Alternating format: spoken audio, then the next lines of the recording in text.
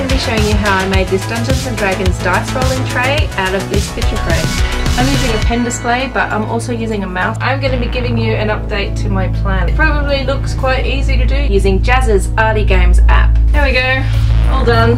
But for now, I like that. Thanks very much for watching. I really hope you enjoyed that update. Please give this video a thumbs up and subscribe to my channel if you're not already. And I will see you in my next video.